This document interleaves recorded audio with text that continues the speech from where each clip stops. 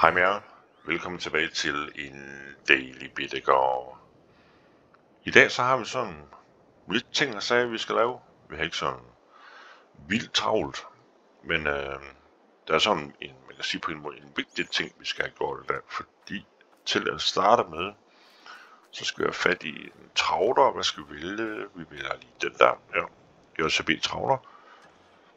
Som trænger til service. Den trænger faktisk også til at blive tanket. Så det må vi hellere klare.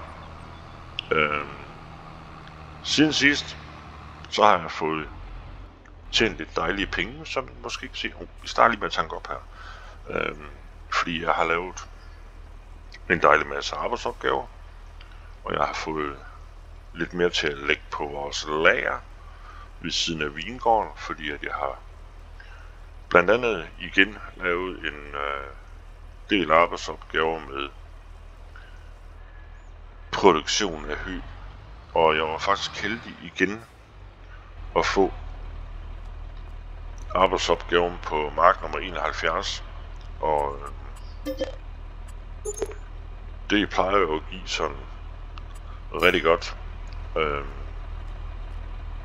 og jeg fik noget overskud, så det var sådan set meget godt.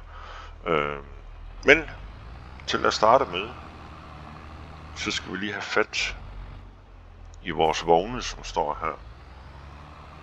Fordi vi har en mark, vi skal have høstet. Og en anden ting, der er sådan ved nærmere research, har jeg lige fundet ud af, at på en måde så skippede jeg lidt, eller missede hedder det, så missede jeg lige lidt chancen for at, at sælge vores juice fra juicefabrikken af i sidste afsnit. Men øh, det er normalt, når vi kommer til, var det december eller januar måned, så stiger prisen på det igen. Øhm, men man kan også sige, at lige nu så mangler vi jo ikke sådan helt vildt penge. Øhm, fordi jeg har slæbt med her, det er, at vi skal have høstet vores dejlige majsmark, som ligger her ved siden af vingården. Øh, og jeg tror bare, at vi parkerer lige her mellem det hele. Det passer vist meget godt. Og så skulle vi lige have fundet, den var lige der, vores majtaske. Og så skal vi så bruge det andet skærbord, som står heroppe bagved. Øhm, og som jeg sagde lige før, siden sidste gang, så har jeg lavet en del arbejdsopgaver.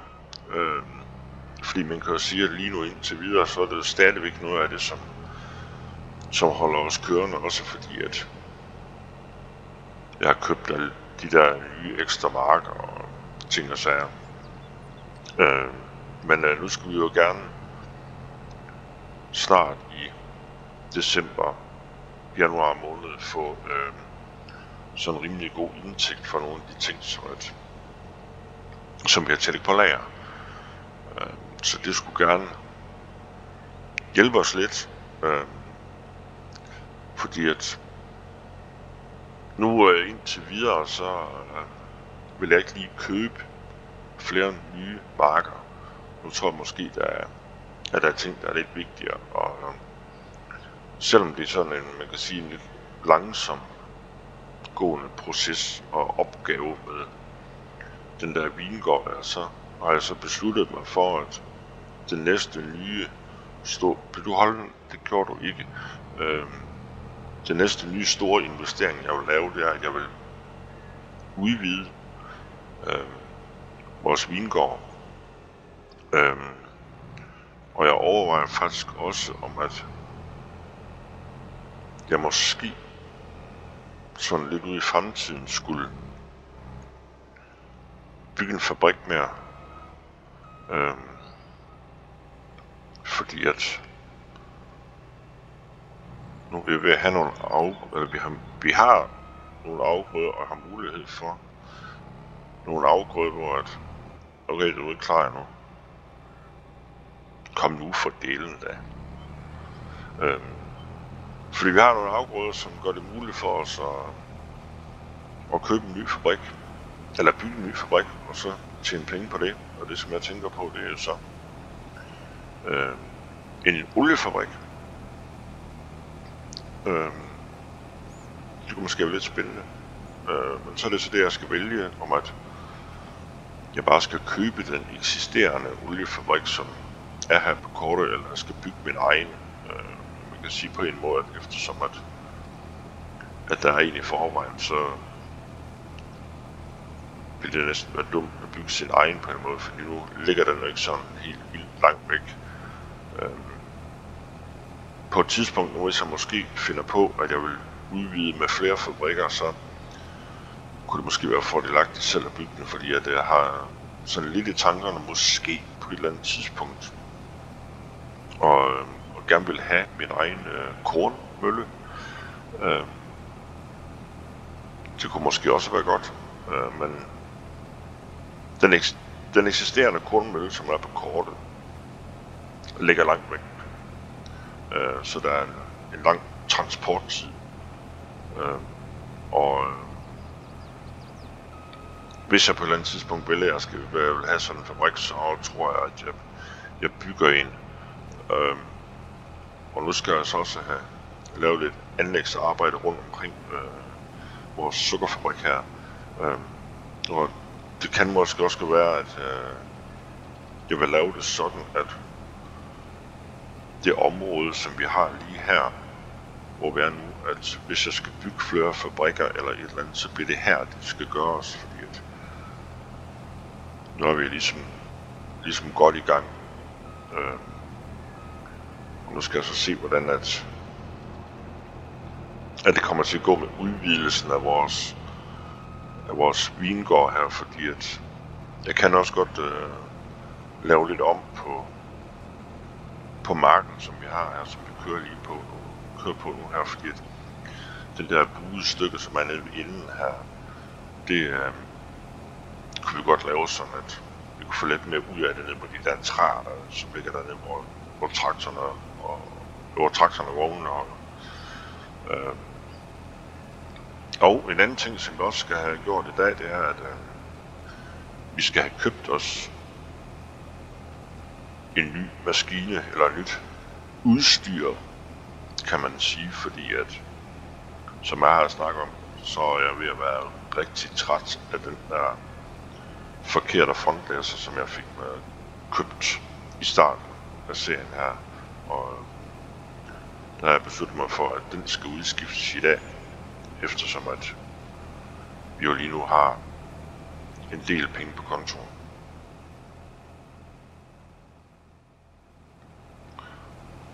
Nu hjælper det på, jeg vil have, have fuld tank næsten. Øh, nu har jeg lige kørt de første to runder her. Øh, og det går sådan set meget godt. Øh, dejlig stor mark. Det er så lige før jeg kunne ønske mig, at skærebord på den her majetasker var lidt større, så at det ikke tog så lang tid, men øh, sådan er det jo.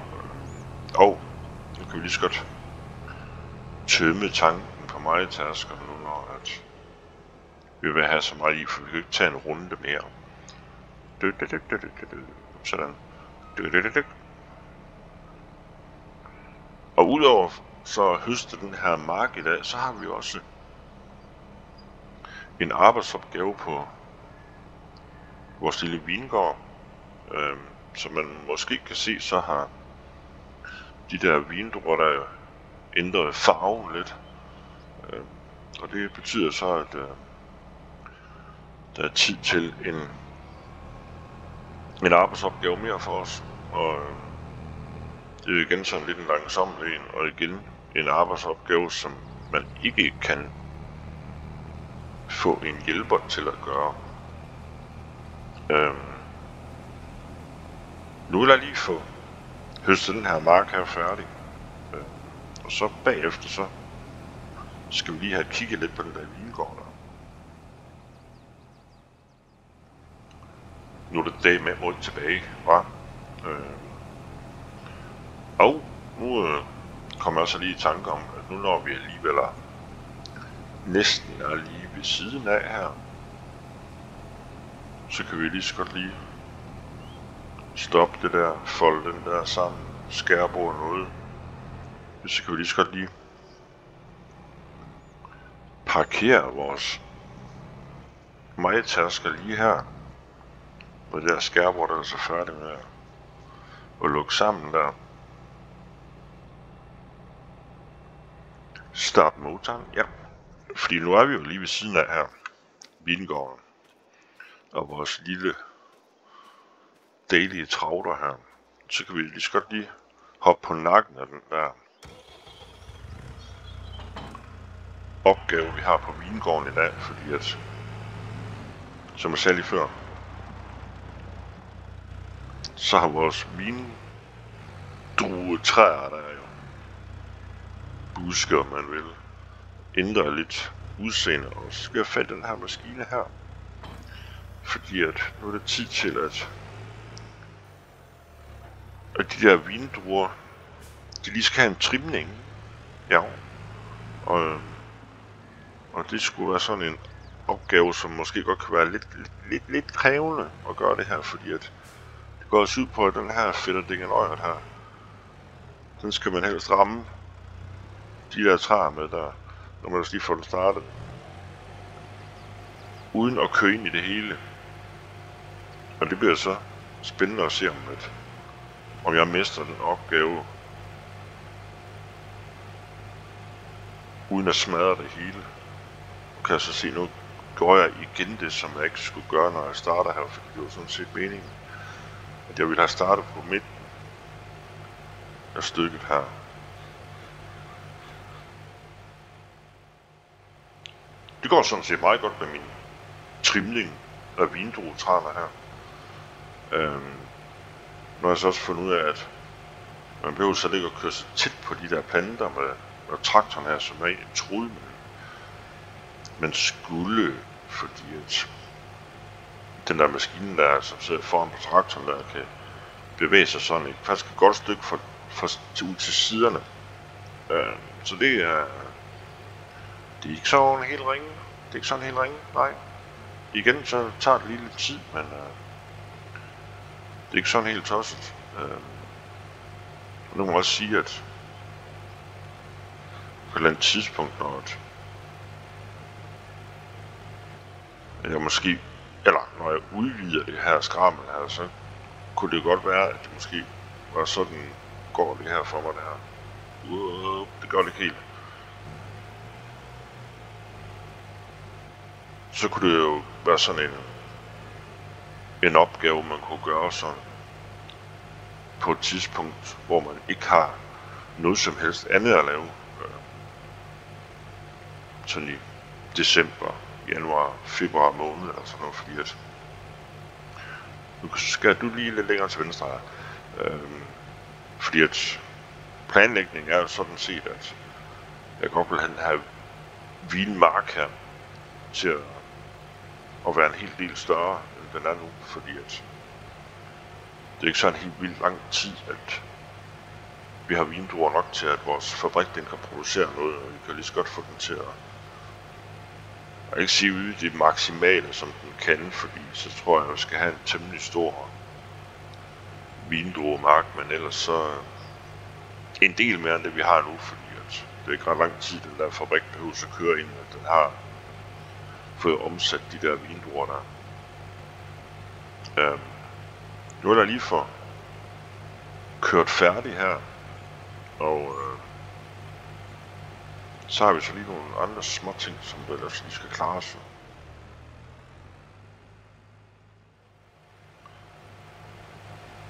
Sidste lille stykke tilbage og årets beskæring eller trimning af vingården er over.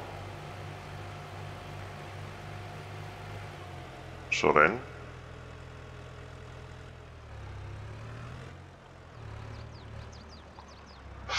maskinen sammen, tak, ja. Og så kan jeg lige se lagerområdet her. Nu er det ser lidt rodet ud, fordi det var en eller anden fjollok, som var lidt for voldsom med en ballevogn. Og vi er ved at have lidt salat på lager igen også, så det er, det er faktisk meget godt. Øh, nu tror jeg bare lige, at jeg vil parkere den her travler herinde i vores dejlige maskinhus her. Og... Ej, det er godt nok ved at være beskidt, den der traktor der. Du, du, du, du. Jeg overvejer faktisk, man kan huske, at jeg har snakket om det før. Jeg overvejer faktisk, om jeg et eller andet sted her. Måske herover eller hvis man, måske, hvis man måske kunne snige det ind på hjørnet her, eller et eller andet. Jeg er over at købe mig en højtryksrenser, som jeg så kan stille ved siden af maskinehuset her, så jeg ikke behøver så at pukle hele vejen tilbage til gården for at, at vaske øh, de der maskiner, som står der. Øh. Jo, nu er jeg lige Ja, på en måde kan det næsten betale på en måde, så kan jeg bare godt når vi tilbage til gården. med brændetasken, men nu kan jeg lige tømme resten af, af vores majs ned i den lille vogn, som står her bagefter. Travlerne er bagved, fordi det burde kunne være der. Øhm. Og så skal vi så bare have det kørt hjem på gården i siloen, fordi der var lige et stykke tid inden, at, at det er spændende at sælge majs. Øhm. Men vi har jo så en anden ting, som at jeg mener, vi, kunne, vi kan sælge i dag. Er det ikke noget med, at, at november måned er det en god måned til at sælge raps? Det mener det er.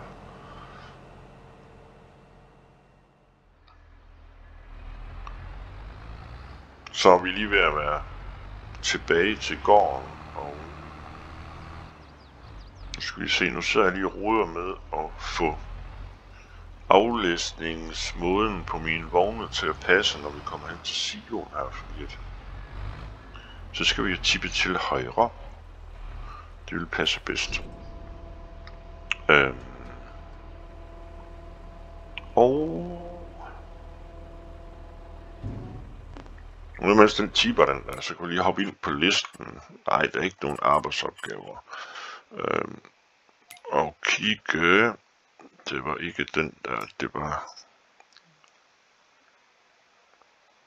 Dude, der var den. Jo, november måned er det bedst at sælge raps. Øh, og det er nok helt sikkert. Ja, Goldcrest Valley det er det bedste. Nu holder vi alligevel her, og så kan vi lige så godt lige fylde noget i den der vogn igen.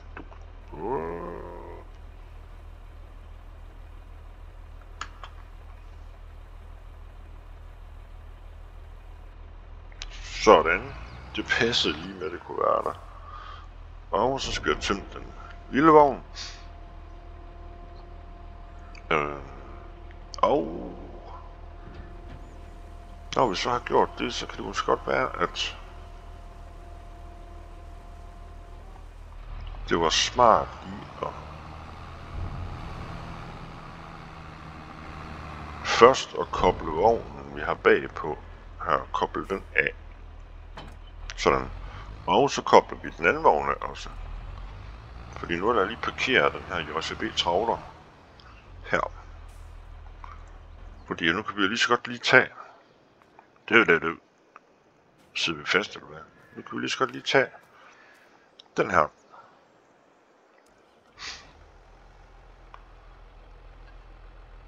Fordi...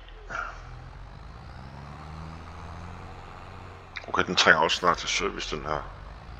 Ej, vi lader den lige køre lidt nu. Øh, fordi at... Så kan jeg lige så godt lige tage frontdasseren med, som står her, og så få den byttet til noget, som er lidt A marker. Du har glemt, du har den der vægtklods på foran, der det går ikke. Den stiller vi der.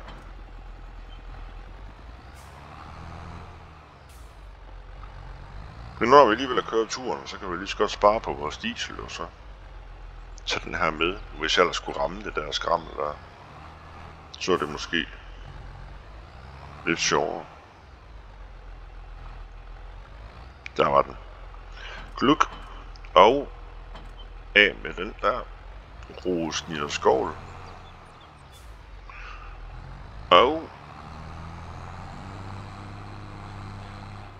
så er det simpelthen bare lige at koble den her vogn på, og så er det fuld fire spring ned til togstationen, og så se om at vi kan få fat på et tog, og så få solgt det her raps der. Nu er det jo så igen ikke verdens største mængde, vi har her. Men vi får lidt ud af det, ud af det alligevel.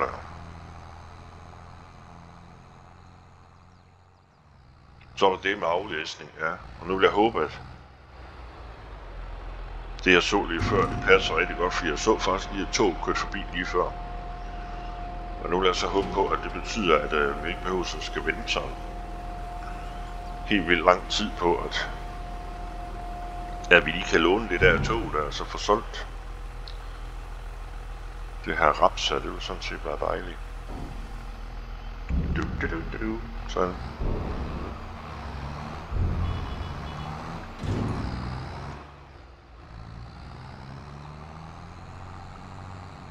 Du, du, du. Så kører vi lige rundt her. Og laver en parking. Ja. Sådan. Og så er det sådan set bare afsted på konvolutteren. Vi løber lige herovre. Og så se, om jeg kan være heldig, at vi ikke skal vente sådan helt vildt lang tid på det her tog der. Ah, det kommer så lige til at gå. Der kommer så lige til at gå lidt tid.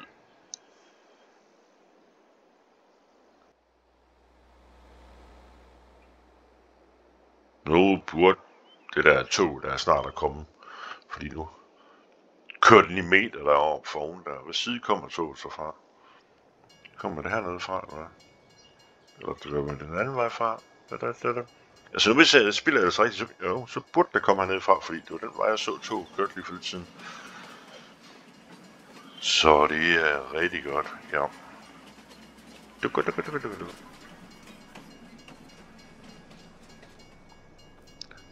Thank you. Yes, please. Fyld op, tak. Brrr. Selvom det ikke bliver ret meget, at vi kan fylde op i det, der, de der store vogne, men der er en lille bitte center, vi har. Off we go. Sådan. Ja, vi sælger. Okay. 45.800 lidt småmønter. Det er sådan set meget godt, ja. Øhm, og vi lå lidt igen. Og så kan vi lige så godt lige have bruge nogle af dem penge, vi lige har tjent. Det er jo derfor, vi har dem. Eller, vi roder med det her. Det er for at tjene en masse penge, så vi bare kan bruge dem igen. Og det får jeg aldrig en ende. I hvert fald i lang tid. Så nu kører vi lige ned til Vagns Maskinbæks, og så ser om vi kan få solgt vores gamle frontlæsser og få købt en dejlig ny en.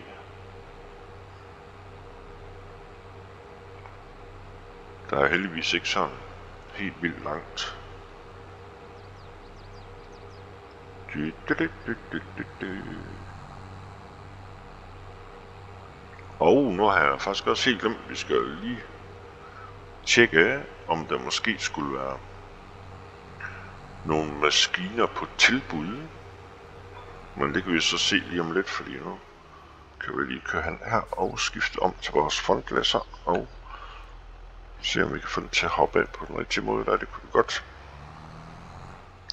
Ja, så kan vi så lige parkere her. Sådan. Hups.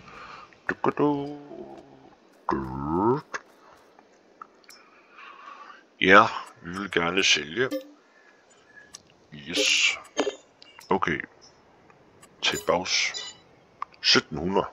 Ja, Okay.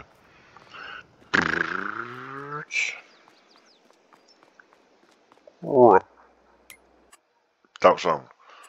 Har du noget på tilbud? Hmm.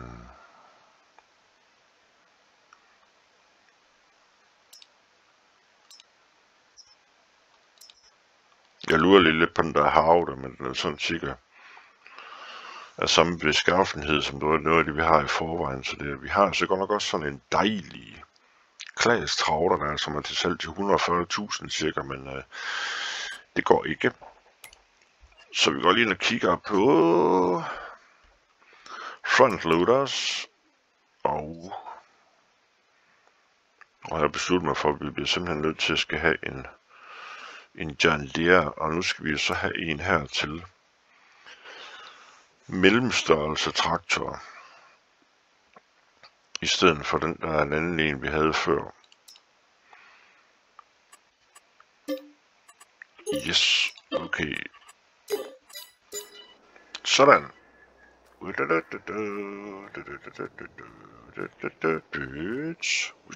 Sådan. Og så er det jo sådan set bare lige at fisse over, og så få den knavlet på travleren, og så er vi jo ved at være sådan rimelig glade jo.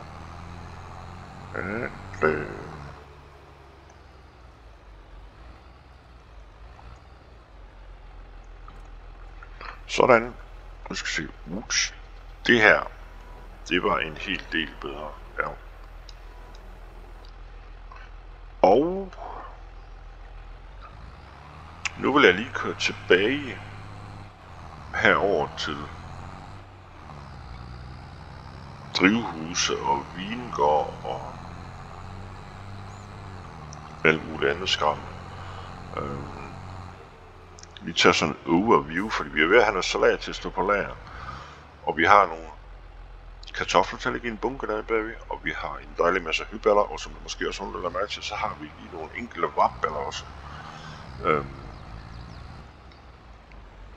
og vi har jo også en det der juice til at stå her, og vi også vil have en del sukker til at stå her ved sukkerfabrikken, som vi også kan sælge på et tidspunkt. Øhm, og noget af det, som at jeg vil rode med ind til næste gang, det er, at her for foran sukkerfabrikken her, der skal have lavet lidt anlægsarbejde på en eller anden måde. Så vi får god plads her op til marken, som er her på højre side. Så der er god plads til, at vi kan køre rundt med en vogn og parkere og læse paller på og sådan noget, sådan at vi ikke behøver at køre og møge rundt i en mark for at, at have plads. Man kan godt lide, at der er sådan en god plads. Man kan sige, at den måde, som vi fik det lavet ved drivhusen herovre bagved, øhm, er sådan set meget godt, men der er ikke sådan vildt meget plads her, men det går sådan, som, at, som det er.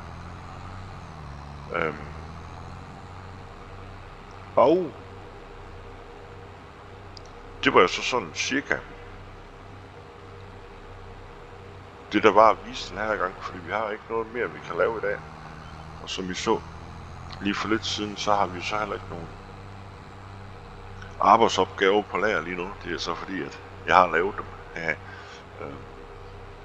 Så, indtil næste gang, der kommer et nyt afsnit fra en delebitte gård, så må I